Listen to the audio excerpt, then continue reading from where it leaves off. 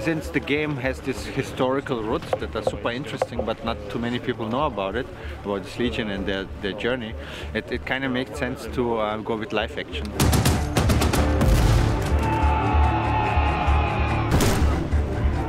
Víceméně to, co tady dělají jako kluci, to, co tady jako se natáčí live action, tak tohle to sami děláme i v tom Unreal Engineu. Prostě každý jeden vojáček musí prostě jako běžet, musí mít nějakou svoji animaci. Nějaký výbuchy, nějaký postřely. To je úplně ideál. A když se vrátí po druhý, jakmile se otočí, za to udělá pum. Action. Jak vidíte, máme krásný počasí, sluníčko, krásných 35 stupňů nad nulou. Ne, kecám, je to spíš naopak, je to takových 15 pod nulou. Má to občas nějakou nevýhodu typu, že zamrzne třeba plyn eh, v plynových bombách, nebo někdo má občas červenější nos, než potřebujeme. Ale na to jsme připraveni. Nikdo si nestěžuje, celý štáb eh, drží dobrou náladu a z toho největší radost.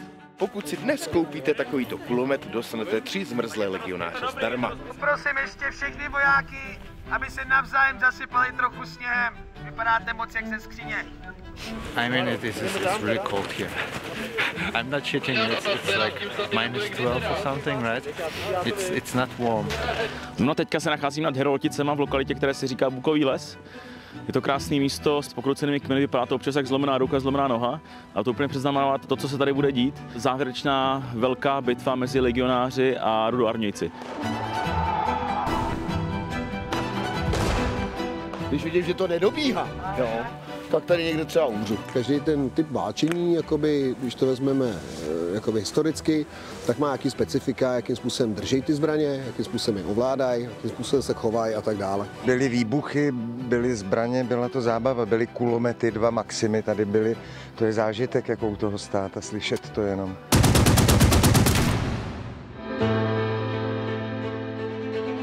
Já osobně jsem vlastně od roku 2021 eh, konkrétně dělal rešerše na ty jednotlivé historické momenty, na to, jak vypadají stejnokroje, co ti legionáři mohli používat a to myslím, že eh, je velice dobře, že vlastně to studio k tomu přistoupilo svědomitě a snažilo se eh, ty věci zachytit tak, jak reálně byly.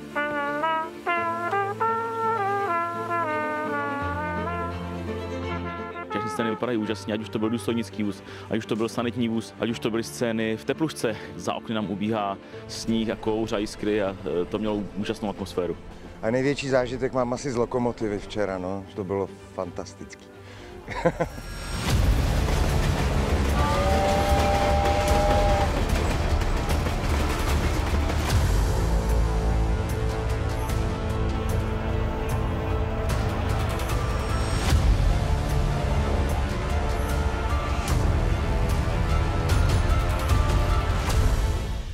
Hraju kapitána Františka Langra, je to lékař, voják, spisovatel, dramatik, který mu důvěřují, který je vede, který i v extrémních eh, hraničních situacích dokáže zachovat chladnou hlavu. Takže takový protiúkol. Díváte se směrem tamhle k velení, jak podají pokyn, tak eh, vy vycházíte.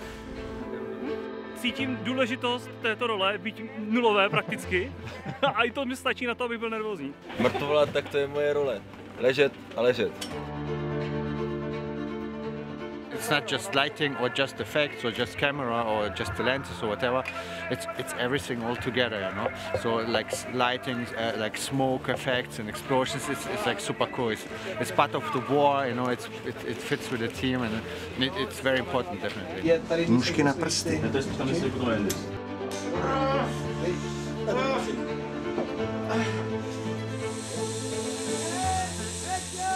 Wow, I feel like I'm there. I mean, the, the feeling is like we are in the missions. To vlastně vtipnější, že takhle vlastně máme, tu, máme celou tu soupravu de facto jako toho ve hře, pak když prostě sem a vidíš to, že ty věci fakt tam jsou jako. Jsem hrozně zvědavý na ten výsledek. OK, pojďme, jo, teda